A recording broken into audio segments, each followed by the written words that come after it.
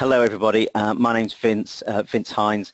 I'm the Managing Director of Wellingtone and uh, yes, as Nathaniel mentioned, this uh, is an opportunity for us to lift the lid and look at salaries uh, within our industry, within the profession of project management.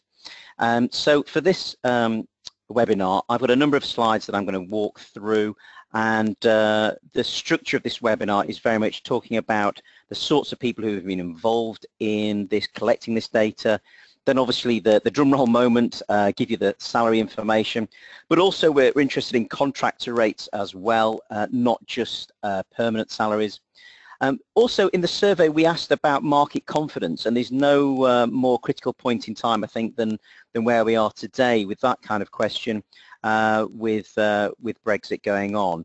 And uh, and then finally, uh, I've got some more insight for you in terms of um, general uh, advice and guidance about salaries, about careers, about working with agencies as well. Um, so just to explain who the heck I am, so um, I'm the Managing Director, as I mentioned, of Wellingtone Project Management. We are a project management consulting company. Uh, we, are based in Windsor. We work with clients across the UK and um, we are a consulting, training and recruitment company. As part of that, we have some badges. Uh, a very important badge is we are um, an APM corporate member. We're an APM accredited training provider and uh, so we work very closely with the professional body. And from our perspective uh, very keen to um, uh, demonstrate best practice. And um, and of course the APM is going through an exciting time as well. Uh, there's another logo I just want to mention to you on there that you may have seen before where it says REC member um, that is the Recruitment and Employment Confederation member logo uh, and that gives some uh, guarantee of assurance or quality in terms of working with a recruitment agency. That's something I'm going to refer to at the end of this webinar um, but uh, that's, that's, just a logo I just wanted to point out to you. Um, one of the joys of my job, and this is a genuine joy, is I get to go into lots and lots of different organisations and help them improve their project management maturity. Having great staff is part of that journey. Um, there's a, a, a, list here of some of our clients, uh, most eclectic mix possible. The key message across this is project management is in every organization. And uh, most organizations, if not all, are running projects, and most, if not all, can therefore benefit from improving their project management approach. And the only way to do that is the people. And uh, I, I, have to admit, I could name, um, not of course, but I could name household name organizations uh, that are very successful, but frankly their project management is, uh, is not very good at all. And in other surveys that we've done with the APM, particularly the, the APM PMO SIG, um, it's demonstrated that about 30%, 30 to 40% of projects are delivered on time, within budget, at the right price. So there's a, a big room for improvement.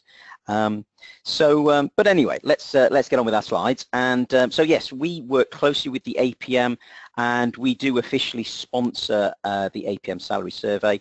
Um, as recruitment experts, we're involved in the collation. We're involved in uh, thinking about what the questions should be, um, and of course, the data is very useful for us and all our clients as well. Um, you might also, uh, if you do receive the uh, the project journal, you might also see the uh, the articles we have in there and the blog posts as well on the APM website. So, um, so the, this APM Salary and Market Trend Survey 2017. Well, actually, this is the third year now we've been running uh, this survey. It is by far the largest survey in the UK on project management salaries. And this year, the survey really reflects the approach, and I'm, obviously I'm not talking on behalf of the APM here, uh, I'm talking on behalf of Wellingtone, but uh, I think it's fair for me to say that uh, the APM is keen to have a much broader reach, recognizing that so many people are involved in project management, and um, as part of that, they're also keen to ensure the professionalization of project management and recently receiving charter, Royal Charter is certainly a great milestone on that journey.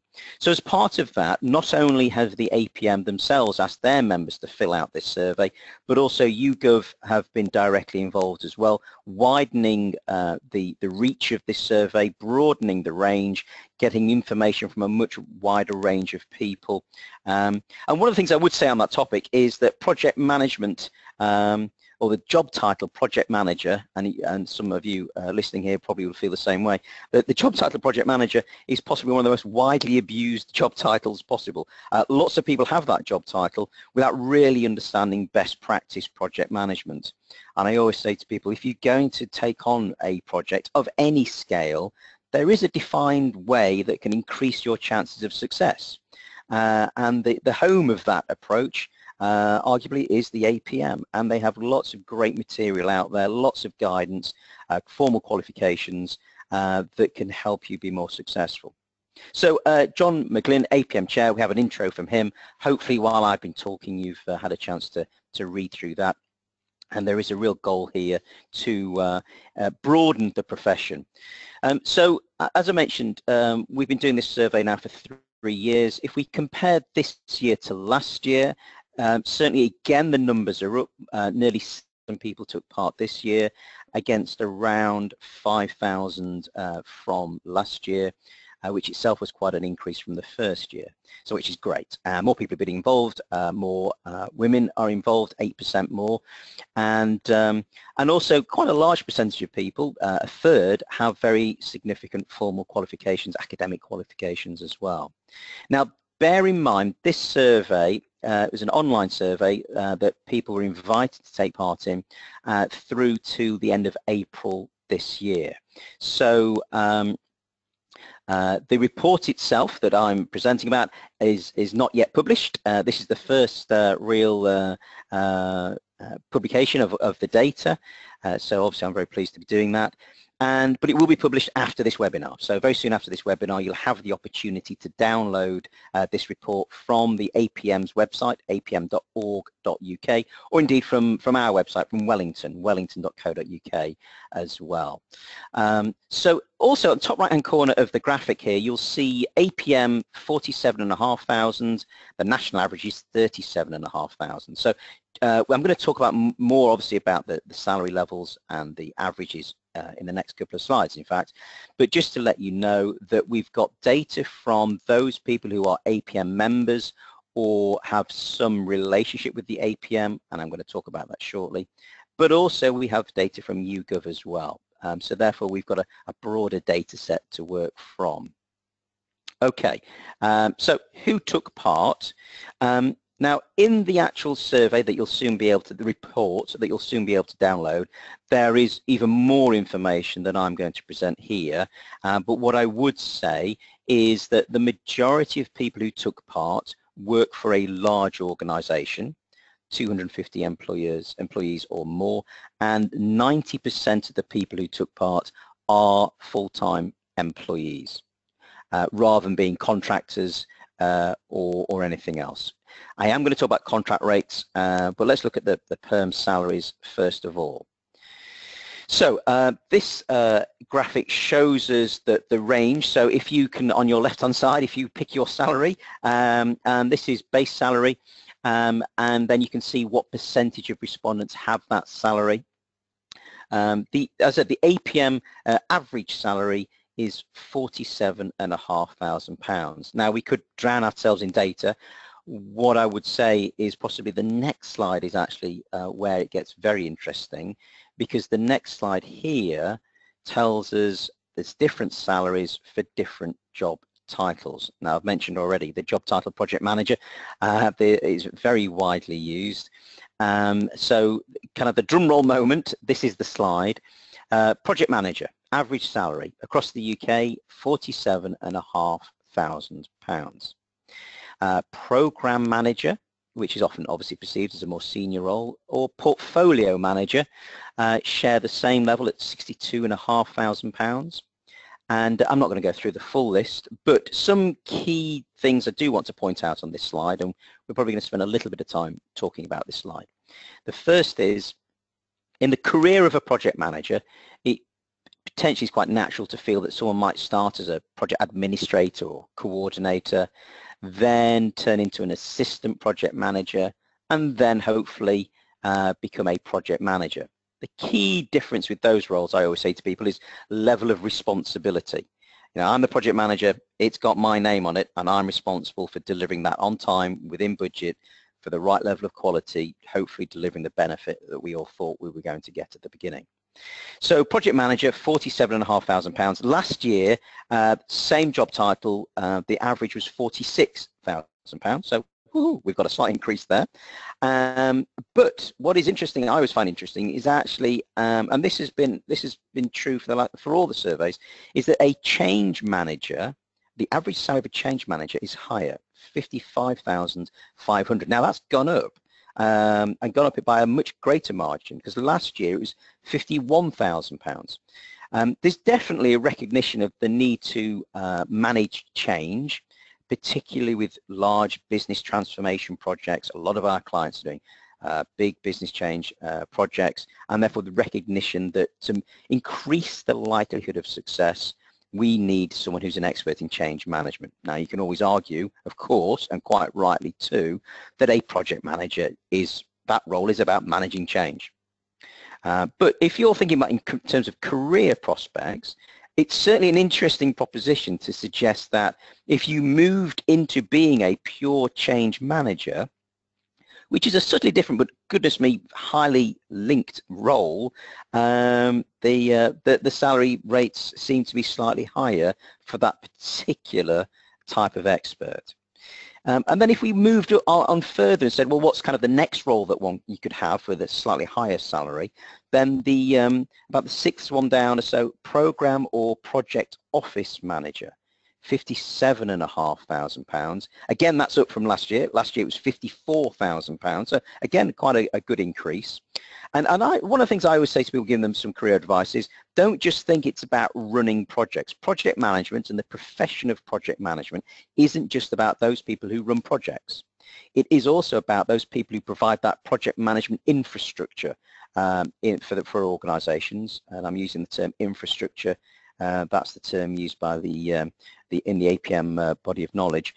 Um, infrastructure is the often called the PMO, Project Management Office, Portfolio Office, Program Office. And that role is there, as projects start and finish, that role is there, that entity is there, providing lots of guidance, potentially assurance, and so on. So running a program office or a project office, I always say to people who are running projects, actually, have a look at going into that type of role and then go back to running projects possibly at a later point. Um, a very good head of project office needs to have walked the path of running projects. So, um, so that is again a, an opportunity as for a, uh, a salary increase um, in the right organisations. Uh, the PMO um, has an opportunity to to um, earn more money there, fifty-seven and a half thousand pounds. I have to say the one that sticks out, and it sticks out even on this slide, is the very fortunate company director or board member. Now, uh, the salary there, £125,000, uh, very nice indeed, thank you very much. Uh, last year that was £90,000, so uh, some big increases there, uh, possibly percentage-wise more than any other category. Um, there's one category that actually did drop, uh, portfolio manager. Uh, last year we had an average of £66,000 um, and um, I, I, this may explain possibly the, the wider pool of people who've now been involved in this survey. Um, I do find in a lot of organisations that job title possibly doesn't exist or if it exists it, it, it exists at a very strategic level, managing the portfolio of projects, aligning them with corporate strategy. Um, so often for me, it should be quite a, a very senior role. Um, and of course, it's one of the highest paid roles here as well. So um, on average then, as I said, we've got uh, project manager 47,500 and um, uh, I, and I would agree with that. As, as, someone now I'm going to put on my hat as, as an owner of a recruitment consultancy, I would say that fits exactly where we would expect it to be. Uh, of course, there is uh, variation by region and of course by industry. Um, so I think, you know, my first challenge to you is to say, well, what, you know, which of those job titles have you got? Where do you sit compared to those um, averages? So um, hopefully no massive surprises for you, but let's look at it. Let's split it down by two different criteria, location, region, and uh, age as well. Um, the age one, I, I, always find this very interesting because effectively almost perm salaries, and I'm focusing on the blue here, uh, from those who have uh, filled it in, uh, filled in the survey, um, who have either a membership of the APM or some involvement with the APM.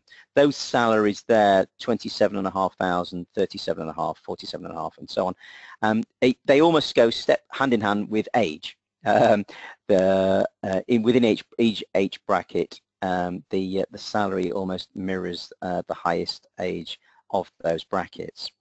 Um, and of course we have regional variation it goes without saying. Interestingly, uh, London, uh, always seen as the uh, the most expensive place to live, um, potentially. The the salary average there is pretty static from last year, fifty-five and a half thousand pounds. Where we have seen an increase, very close to that, is the southeast. Um, so the southeast salaries are catching up or have caught up, uh, absolutely caught up. And again, that possibly reflects the um, uh, expense of living in those areas as well. Regional variations, uh, Northern Ireland is another one where we've seen an increase, a good increase from last year, which is excellent. Um, others pretty much uh, as they were last year. So again, you could, uh, of course, this is average salaries for the job title uh, project manager. So, so um, we can see the, the variation by region and we can see it by age. So again, you might say, well, where do I sit and uh, how old am I and uh, am I doing better than my peers or not?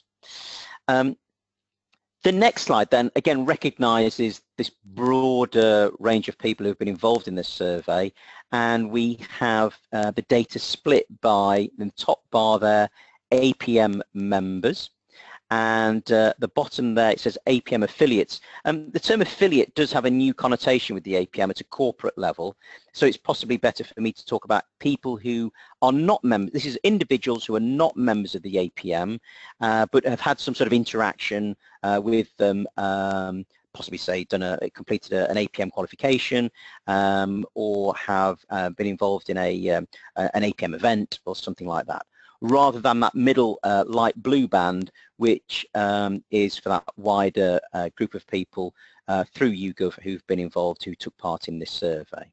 So uh, APM members, well, APM members seem to do the best, and um, if we look at how many of those uh, are on those highest salaries, there's a good broad range, and um, uh, the data speaks for itself. I don't think I need to read that out to you, uh, but um, uh, the average salary is 55 and a half thousand. Uh, obviously that drops down for APM, uh, those who have an involvement with the APM, 47 and a half thousand.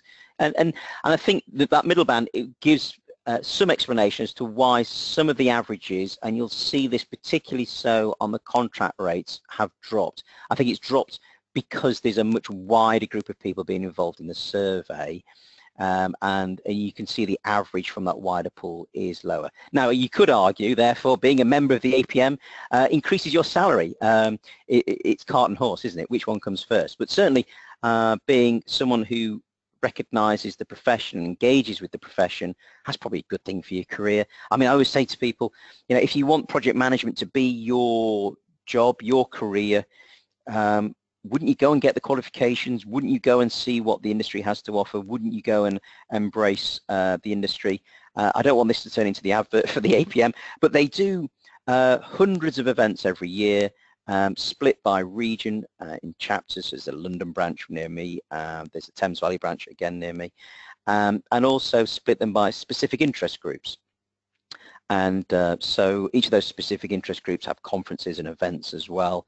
Um, the, I guess some of the groups that we work most closely with include the APM PMO SIG um, and uh, Women in Project Management have a huge conference every year.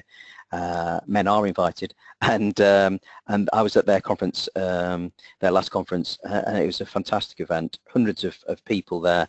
Uh, so a real opportunity to network and, um, and of course that networking involved getting involved in your industry can potentially lead to career opportunity as well. So um, certainly um, I would embrace membership. And uh, so that's employee employees and their rates. Let's look at um, day rates, uh, people in a contract or interim uh, role. Again, a very broad range.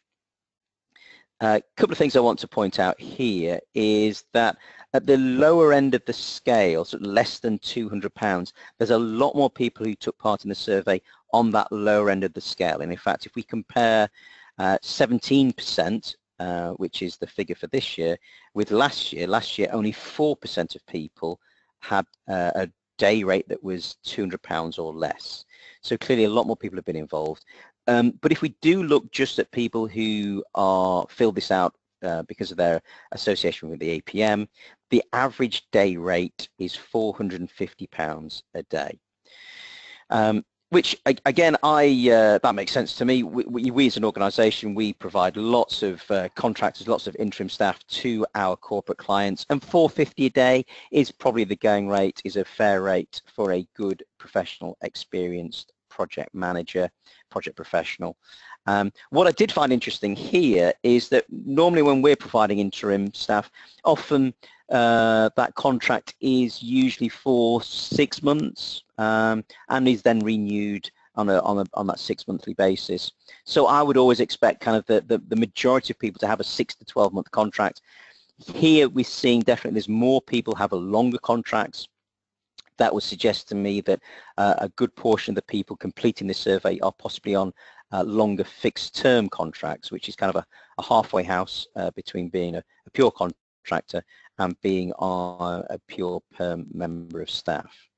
Um, so if we then look, stay with contractors, and uh, for some of you listening in, I suspect you are contractors, you know, individuals, professionals who have particular project management expertise and will go and work for an organization for six months, um, and obviously, potentially, hopefully, you know, charging a, uh, a, a, nice day rate to do that. Um, uh, the majority of people who who do that kind of contract interim work have their own limited company and we can see that here 73% last year it was a higher percentage. Uh, last year it was 87% and again I think that just reflects the broader scope of this year's survey more people getting involved.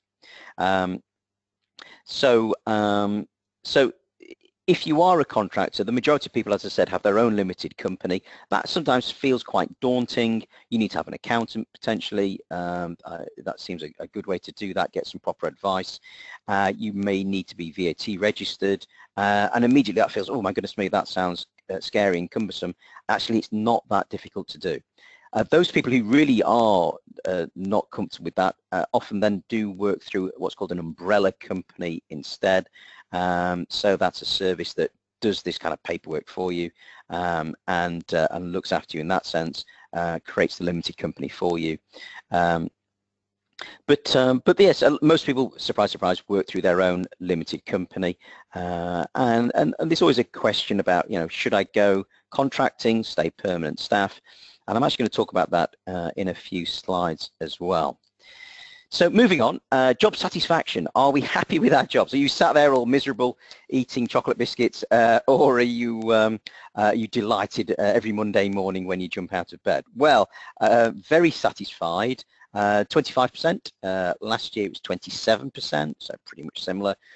fairly satisfied, 54%. Last year it was 55%.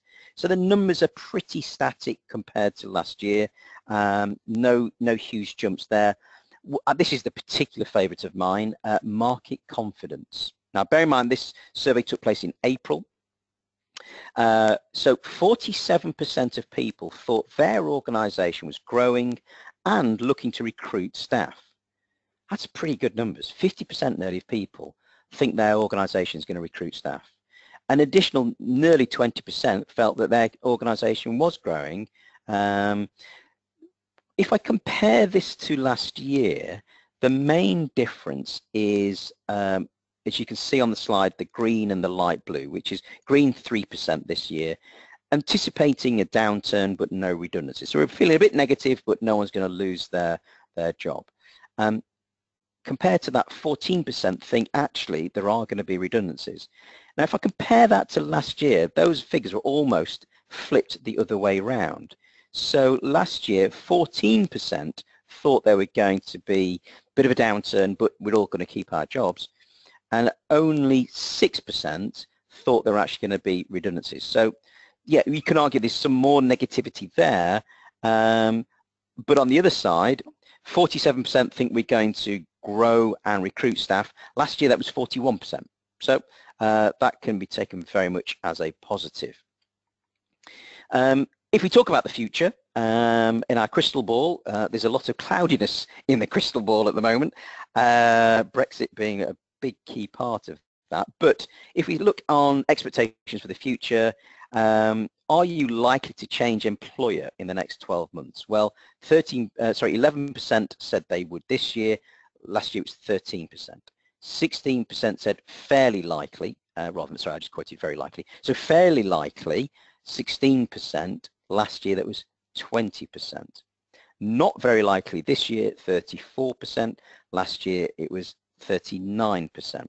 So we can see here there's a little bit more conservatism coming in, uh, people less likely to want to jump, want to look for a new role um, uh, this year compared to last year. And maybe one of the reasons for that is on the right-hand side here. Now, bear in mind, this survey took place after the uh, results were known um, from the uh, exit vote, uh, but it was before Article 50 was actually uh, um, we'll say started, I'm not sure that's the right word, but I'm sure you know what I mean. Um, so we can see here, what's the impact? Well, people, um, neither positive or negative, a lot of people don't know, 42%.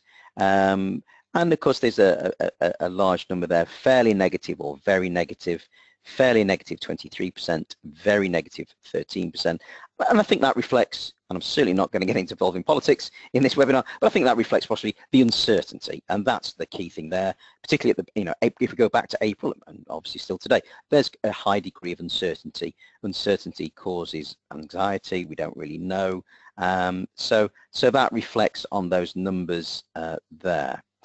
So uh, that's the data I'm going to present. The big question is, what the heck does this mean for me? What, what, how does this change my uh, world? So uh, just very briefly on um, um, should I stay employee or should I go contracting? Uh, if you've seen any of my uh, presentations or webinars before, you may have seen this slide before. There are pros and cons for being an employee versus being a contractor. Employee, I may have more job security um, I may have better, well, I'll have benefits, hopefully, health insurance, things like that. Hopefully, I've got an organization that is thinking about my career development, my personal development, paying for me to go and get some training, and I have that sense of belonging to something. As a contractor, I don't have those things. I do have greater flexibility. Um, it's definitely, it's fair to say I'm possibly on a day rate basis going to earn more money. That is, of course, if I'm in a contract. And I always say to people who are contracting, you should have three months of salary saved away because at some point your contract's going to end and you're not necessarily going to walk into another contract the next day. Uh, and I uh, have friends, colleagues, um, uh, people I know who, uh, you know, earn fantastic money on a day rate basis, very senior people, but then they'll go six months without a contract. And so it's important that we don't see this figure that we get on that day rate basis, that £400 a day, and we don't multiply it out, so that's about £8,000 a month, which is about £96,000 a year. I hope that math is right. I've just done that off the top of my head. But um, so, you know, these are big numbers for me. Um, bear in mind, uh, you do need to take holiday. You may be, your contract may end. Um, you're not getting any benefits. So things like um, health insurance, uh, mobile phone, things like that. You've got to factor those in. And of course, no one else is going to think about your career. So you need to take time out to get those additional qualifications, to get that training. You can't stand still. Uh, and taking a week off to go on a on a training course, A, you're paying for the course yourself, and B, you're you're losing that one week's of, of day rate. So um, it is important that you, you go into these things with your eyes open in terms of what the true benefit is and what the true cost is of being a contractor versus being an employee. One question that people often ask me is, is what's, what could I earn as a contractor? Uh, what kind of rate could I, uh, could I put myself out there at? I don't want to under, undersell myself. I would, equally, I don't want to price myself out of the market. So um, here's a, a, simple rule of thumb that I often uh, recommend to people. If you take your permanent salary, divide it by 100, that gives you an approximate day rate. That day rate might dip depending on industry, depending on region, depending on uh, what the client's prepared to pay and the current economic market. So here we're suggesting if you're someone who's, say, a project manager on £46,000 a year, kind of the average, then the day rate might be £460 a day. I might suggest that possibly we take £50 off that actually uh, and um, and make that say about £400 a day. Uh, that's a good uh, day rate for a project manager. Um, and uh, so rule of thumb, take your perm salary, divide it by 100, that gives you an approximate, um, and I think that is a good fat, if I can use that term, fat rate, uh, and therefore you may well be happy to take uh, much less than that to get into a role, to get into an organization, to boost your CV uh, as well. So um, uh, the other point I wanted to make is working with agencies. Uh, those of you who, whether you're perm or contract, at some point, I'm sure you're going to get a call or I'm sure you're going to be speaking to a recruitment agency. Um, some pointers on that. If you do get calls from a recruitment agency, make sure what they're asking, talking to you about is actually a live role. Um, and it's reasonable for you to ask some very direct questions. Have you recruited for this organization before? a lot of large corporates have a preferred supplier list, a PSL. So use that terminology. Are you on the PSL for this uh, organization? If you have an agency that's asking you for references, I think it's worth querying that. Um, first thing I would say is a, if you're going for a permanent role, it's actually the hiring organization that would follow up your references. If you're going for a contract role, then it is the agency that would take up your references. But I wouldn't expect them to do that on their first call with you. And I have to say, there is unfortunately some elements uh, within the recruitment industry that might use your references to then sell their services to those people. So just be careful before you give out your reference details to an agency, just to understand, is it appropriate at this stage in our relationship, um, in this stage of the recruitment to actually do that. Uh, the final point is well about rate, uh, and again, this is particularly true, uh, well, it is only true for contract roles. Um, agencies should be very transparent about their fees and what they're charging, and if they're on a PSL, that is obviously uh, negotiated already. Um, so we as an organization, we're a preferred supplier to say, uh, one of our clients is say GlaxoSmithKline. Uh, not saying anything's confidential to them, but we have an agreed percentage rate. So when we provide one of uh, a contractor into them, we already know, they already know what the, uh, the, the percentage fee for our services is on top of that.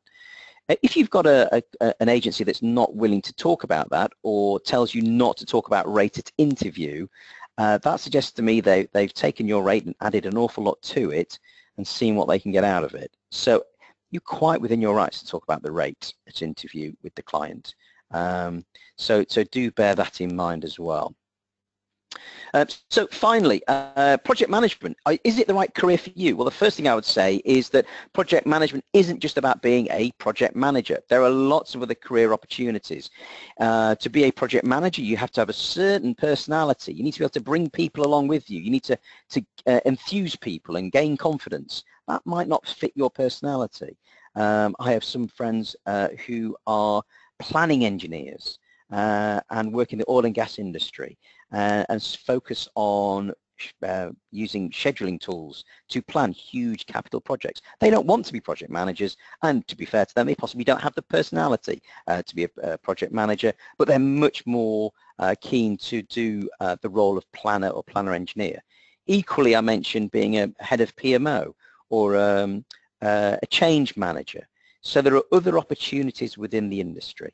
Qualifications. There's loads of qualifications out there. The APM, of course, have the full range of qualifications for project managers, uh, and that's going to be extended, and uh, obviously with uh, Royal Charter status. Um, so there's definitely opportunity there for you to get a professional qualification. If this is your career, why wouldn't you have that professional qualification? I've mentioned networking opportunities already. Uh, do look beyond your organization. It um, I spend most of my time helping clients, helping organizations improve their project management maturity. And the biggest thing I bring to that party is knowledge about what works and what organizations are doing uh, and what good looks like. So do look beyond your own organisation. If your organisation has room for improvement, um, but frankly most do, um, it is worthwhile you engaging with your profession to see how other people tackle the same challenges. Whether I'm a car manufacturer, building hospitals or building nuclear submarines, the tools and techniques of project management are universal, which bring me to my final point on this slide. As a project manager, your skills are highly transferable. Um, it is reasonable for a good project manager to move industry. Now, often as a project manager, we're also wearing the hat of a subject matter expert, but the tools and techniques of project management are universal. A good project manager can add value on any project, and therefore, from a career perspective, don't just think about your industry. It's a natural place to sit, but there are industries where project management is less mature. And those industries are actually recruiting people from industries where project management is more mature. And I've got some great case studies where, um, for example, we had oil and gas project managers recruited by a pharmaceutical company. Um, I've got other examples of uh, managers being recruited into the legal profession. These are industries which are embracing project management, are waking up to the benefits of it, and therefore need to bring in um, uh, those skills. Um, so um, we'll look outside their industry for expertise. That's not true for every industry, but it's certainly an opportunity there as well. So um, final point I'll make is, uh, obviously we're a recruitment consultancy. If you are interested in looking at new opportunities, do go to our website, uh, Wellingtone, with an E on the end, wellingtone.co.uk. You will see a list of live jobs. If you'd like to submit your CV, fabulous. We, we would definitely like to receive that from you. Um, very happy to talk to people as well uh, in terms of career development. No, we don't charge uh, to look at your CV. Uh, I know some people do do that. I don't think that's really fair from a recruitment agency perspective. Uh, but, but because we're not just a recruitment agency, in fact, we're a, a very large consultancy. We're a Microsoft Gold partner. Uh, and we're Microsoft, um, sorry, an APM accredited training provider. We do lots of other things as well. So do feel free to register for our webinars on um, uh, on all sorts of topics. Um, the state of project management is also a, a survey you can download from our website uh, as well, which gives you great insight into the industry. And the final thing I'm going to mention, uh, if I may, about Wellingtone is we are doing our own conference, um, uh, PMO event, Future PMO. It's happening on the 12th of September. And in fact, on this webinar, we are uh, providing a 15% discount uh, for tickets. Um, there is going to be a DeLorean. There is going to be a, pro a project manager robot from the future, uh, but there's also going to be lots of great speakers as well from some of the UK's leading organisations um, and a real opportunity again to network uh, and interact with people. So if you are involved in the PMO, please do come along and this slide gives you an opportunity to um, get a discount on tickets as well. Now, I think that's me done. I may have overrun slightly. I apologise if I have. Um, but uh, there was an opportunity, I think, to ask questions as we go along. Uh, Nathaniel, Nathaniel, my colleague from the APM, uh, is there behind the scenes. And uh, Nathaniel, do we have any questions that are worth looking at uh, that we uh, need to put me on the spot with? Hey Vince, um, thanks for your presentation. We, we've got a couple of questions, not as many as I thought we'd get. Um, That's fine. Fine. So if I start us off with a question that relates to uh, one of your recently made points, which is we've, we've got a gentleman who's working in the oil and gas sector. They've got quite a lot of PM experience, eight years plus, and both academic and professional qualifications, but all their experience and their sort of knowledge of salary ranges is within that oil and gas sector. They're thinking of moving out of it, moving from a steady role to consultant role. Uh, it's not something they've done before. Is there any advice that you could provide them in terms of expected realistic scales for a salary for someone who, who you would describe really as an ex, a, a middle to senior experience uh, for a project manager? Yeah, there's a couple of things to talk about here. First of all, oil and gas industry. Obviously, as the oil price comes up, uh, the demand increases. Uh, oil and gas industry at the moment is uh, is depressed, Um, there are people coming out of that industry. Um, and so really potentially what we might be looking at here is, is moving away from the oil and gas industry and also going from perm, I think you mentioned possibly more to a contract role. Now the thing, the first thing I would say on a CV, if you are going to look at roles outside your industry, take the industry terminology out of your CV and um, uh, make it much more generic. You know, team leadership is team leadership. Managing a plan is managing a plan. So take out that industry terminology and demonstrate the real transferable skills that you have, that you will, that you do have, and the qualifications really help as well. Um, so that's the first thing. The the other thing then is in terms of rate. Uh, I mean, the average rate, as I mentioned on these slides, is about 450 a day. I think you know for our first role, uh, you particularly if it isn't a new industry, I think you might say I am prepared to take less to get myself into that industry, to get that opportunity. Um, it may well be the first step might be to do a contract type role within your industry or very related um, to build up that um, that on your CV. And this is what we're trying to do. We're trying to build your CV. What I would say is when you do leave that a role, if that role, you know, I, I don't like looking at a CV and seeing someone that's moved once every six months or three months or four months. You want to say, well, why they keep moving? So when you do start building that up, do put on your CV uh, details of why you've left a role. And it might be because the project's finished. And this is the thing about project management. Projects do finish, hopefully. Um, so it's important to, to signpost that on a CV. Um, but going back to the point, oil and gas, very mature project management. There's definitely a lot to offer other industries. Um, uh, closer related, the better. Clearly, engineering, um, uh, utilities in particular uh, jump uh, in my mind. Uh, but I would say you might want to take a slight hit on the day rate to get that first role. Um, hopefully that gives some guidance um, for that for that question. Any, any other questions, Nathaniel? Thanks, Vince. Um, we've got three questions that all relate to salaries that a project sponsor is likely to earn in relation to the salaries of staff on a project. Now, I know our survey isn't really looking at the, the sponsor side of things too much, but do you have any, any guidance yeah. you can give on that?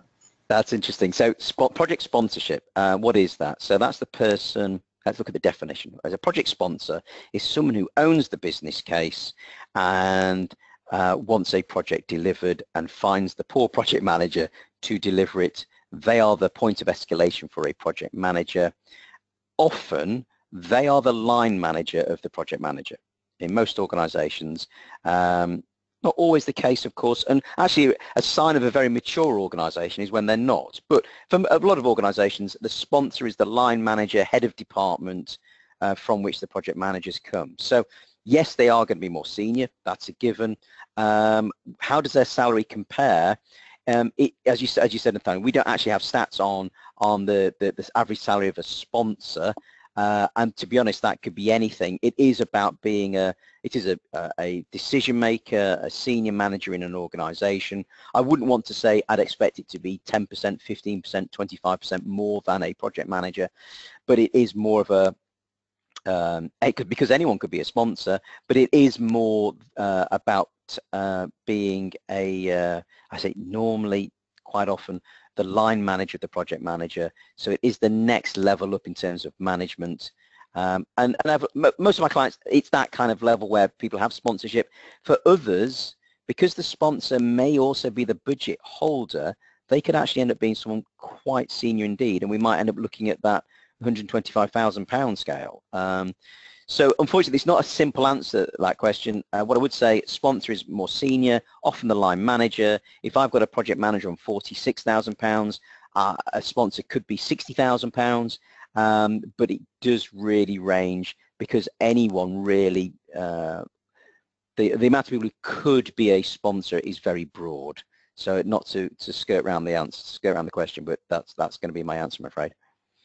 Any others, Nathaniel?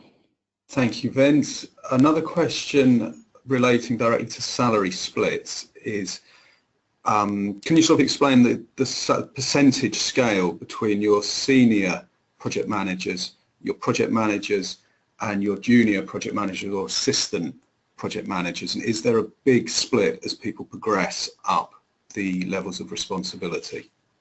Yeah, I, and that, that's the key word, isn't it? Level of responsibility. So uh, in terms of career development, um, the key thing I always say to people is you want to get to a position where you're you're asking for responsibility. As you get more responsibility, you can legitimately say you are a, uh, you know a project manager.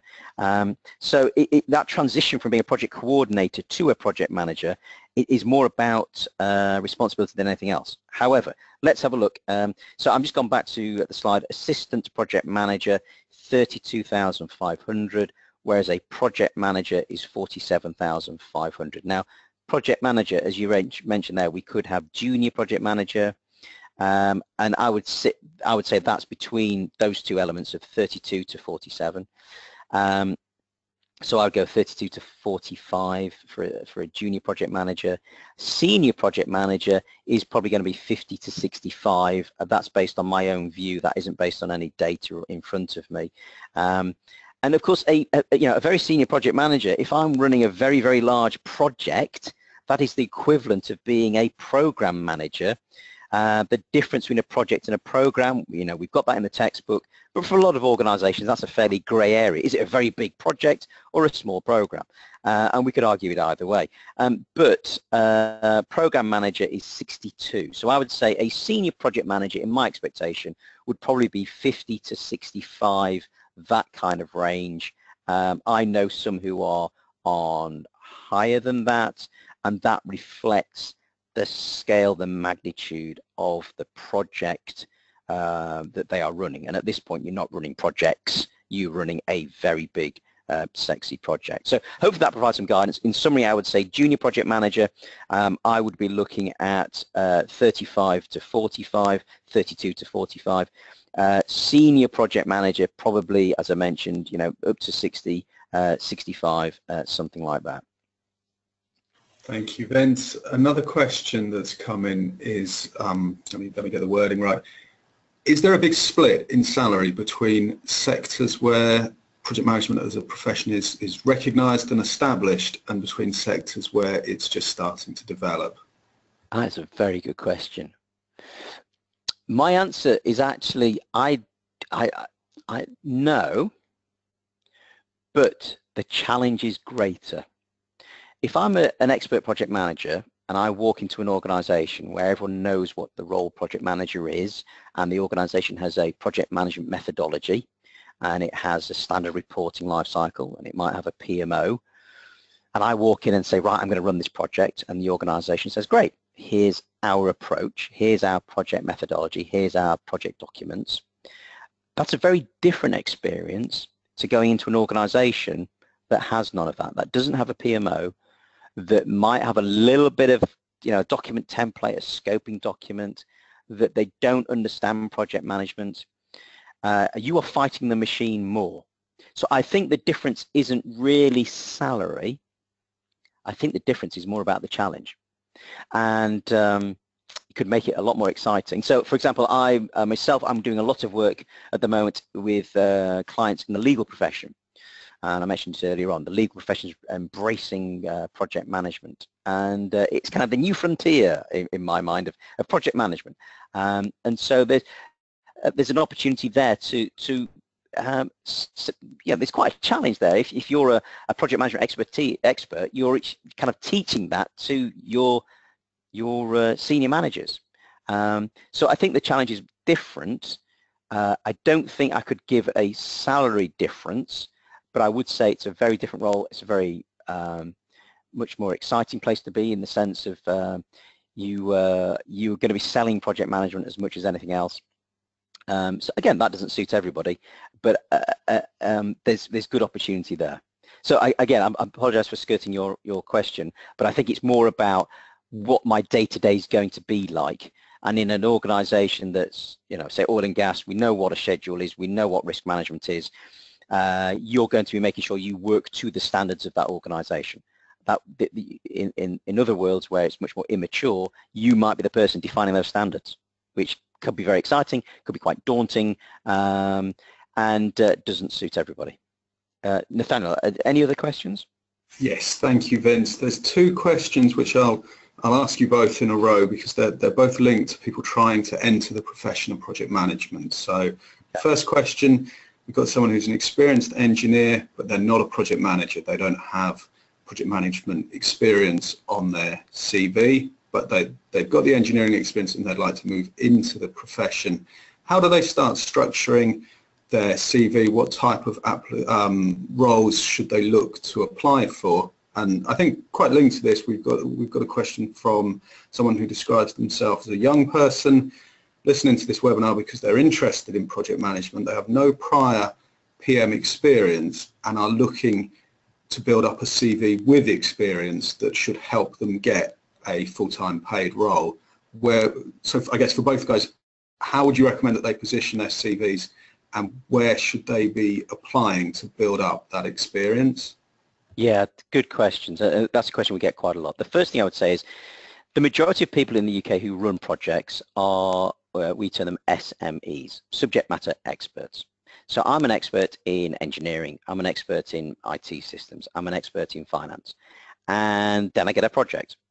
And almost my interest comes away from that subject matter expertise into being a professional project manager. So I'd say for both those people, they're uh, in their job at the moment, in their role at the moment, let's talk about the first one, say I'm an engineer, you will be doing some project management. It might be called project management, but you'll be doing some. Uh, and I think the first step is to see if you can get the opportunity to do more of that in your current role. Can I manage this piece of work for a client? Can I look after the budget? Can I manage a team of two people? Can I work to a deadline?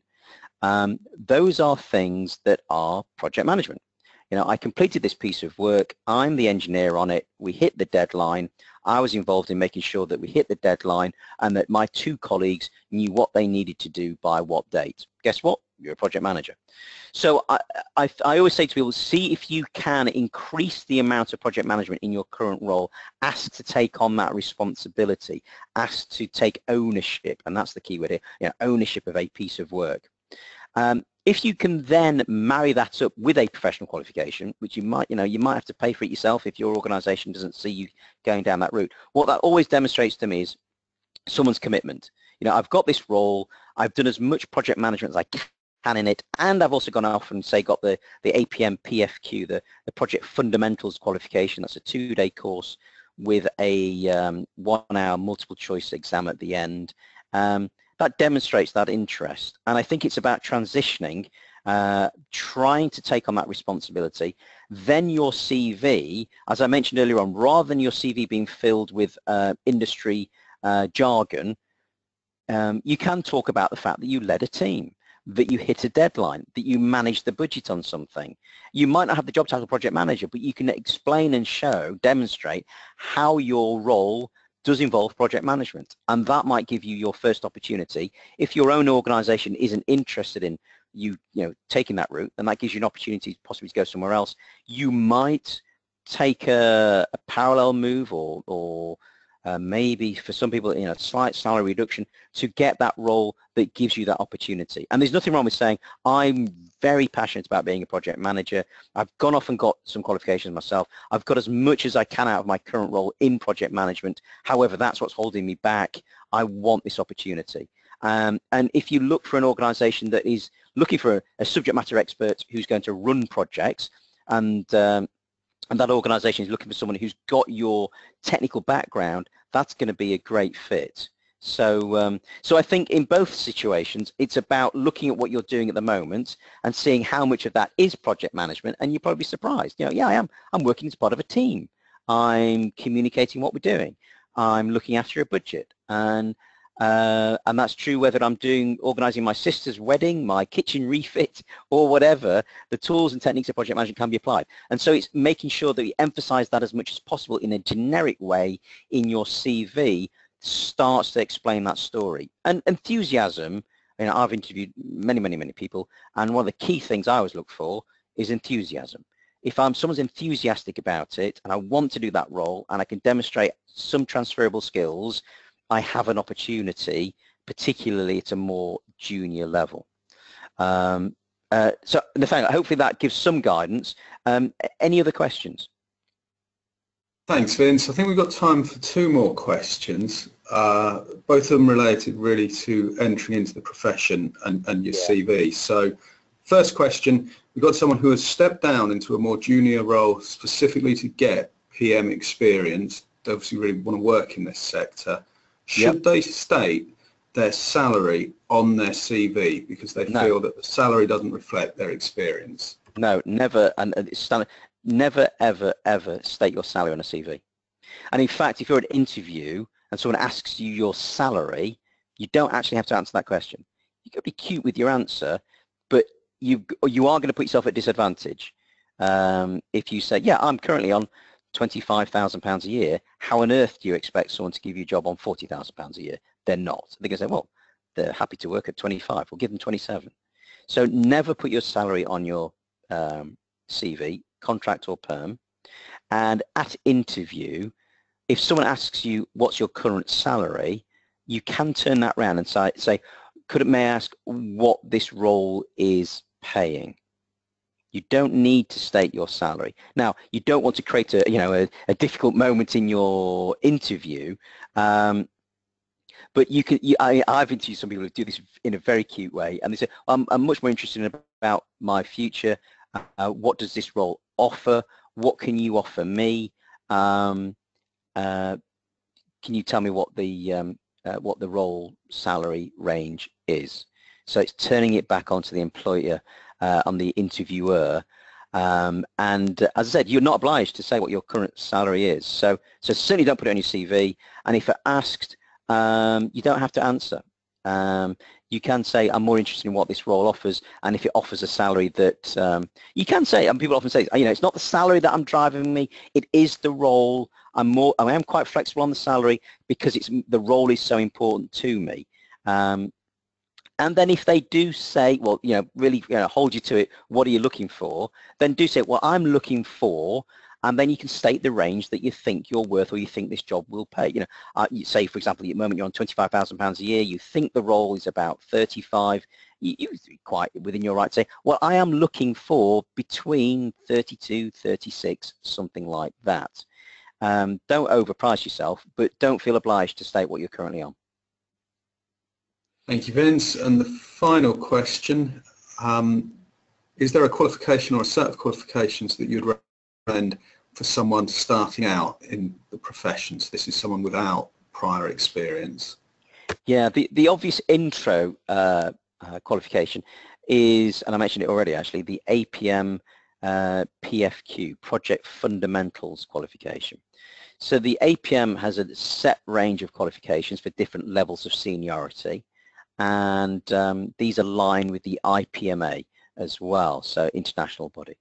And um, so the first of those is a two-day course with a one-hour multiple choice paper. And what that is testing is your knowledge. Uh, the syllabus is about 70% of the APM's body of knowledge. So the body of knowledge, if you go to apm.org.uk, uh, I think you can download the, the body of knowledge. Um, and um, uh, it's a book, and it's a book that talks about the best practice project management. So, so you're being judged on that, and that's the uh, easiest qualification, the simplest qualification, the shortest qualification, the uh, probably in the cheapest qualification um, in terms of time investment and so on. So that's a great place to start. It's a very well-rounded start point. Um, I would definitely recommend that. I'm, I'm conscious that the organization I'm from is a Microsoft Gold partner. I will state that. The other thing I would, however, state 98% of people who run projects do use Microsoft Project. Uh, other market, other tools are available on the marketplace, uh, but also becoming very skilled in uh, Excel uh, and, and, Microsoft Project, those tools that people tend to use in running projects, I, I would also recommend that as well. Um, so you have some practical tools you can offer. Uh, you know, yes, I can build a plan, uh, I can build a schedule, and I understand what critical path is uh, is, is a great starting combination of skills. Um, so um, yeah, the first qualification I'd say APM uh, PFQ, and if you go to the APM's website, um, there's lots of guidance on on that qualification and, and how you can take that qualification uh, as well.